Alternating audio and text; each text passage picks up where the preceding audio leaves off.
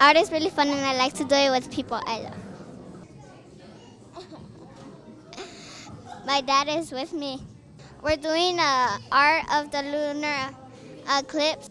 With art, I express how I feel with all the beautiful colors. Summer cartoon.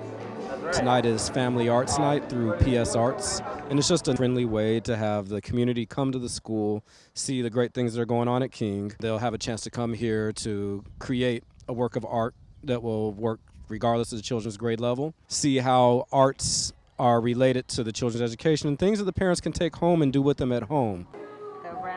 We paint at home. We've always been a fan of art. The opportunity to come and do something with my son at the school, I just couldn't miss it. Uh, Everyone might not be into sports, but music, art, those type of things are just very important. I know a lot of those programs are kind of going away, and so to see that it's here and it's still valued amongst you know, adults for the children, like for me, it was just very important that I support that. It's important, you know, for all the kids to at least be able to go somewhere and just express themselves through color and design and art. It's a good thing for children, I think.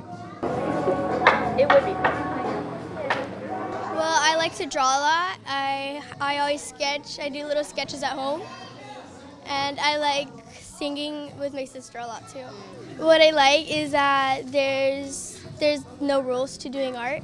I do want to continue doing art. It helps me express myself on how I feel and how I am.